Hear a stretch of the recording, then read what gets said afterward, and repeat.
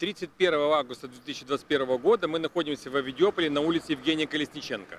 З- Со, вчерашнего дня, с 30 э, августа, начались э, конструктивный ремонт автодороги Н-33 на участке с 37 по 42 километр. Это как раз участок, который проходит через Авидиополь.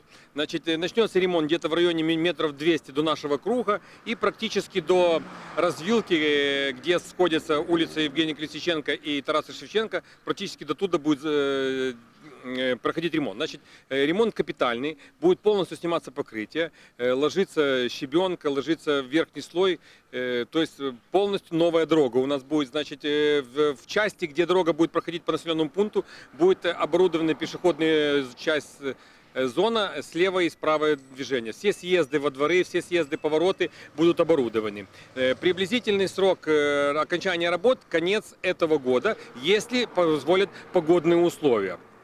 Значит, работы, значит, генеральный подрядчик, по нашей э, информации, это паритет Будинвест.